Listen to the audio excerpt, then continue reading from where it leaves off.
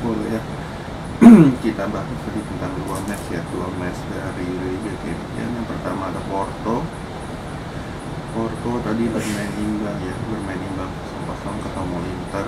Inter di leg pertama udah unggul dulu secara agregat jadi jadi Inter berhak lolos dengan agregat 1-0 itu prestasi tersendiri ya buat tim Italia sejak Juve yang berhasil lolos ke babak delapan besar jadi Inter kan juga udah lama banget ya terakhir ya sekitar berapa udah lama banget lah Inter nggak lolos babak delapan besar jadi prestasi itu sendiri karena di Serie A mereka udah nggak mungkin jadi mereka lebih fokus ke UCL untuk musim ini kalau City ya City seperti yang gue udah bilang ketika mereka kemarin bermain imbang lawan Leipzig yang satu kan orang bilang Leipzig punya peluang segala macam kalau udah gue bilang ya teman kalau lu main di kandang City maka situasinya akan berbeda ini yang terjadi.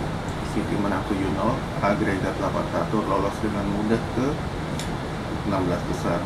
Dan ya City gue bilang nggak nggak ada halangan lah ketika berjumpa dengan tadi sepak Leipzig. Karena dari segi segi taktik dan segi kualitas City tiga level di atas?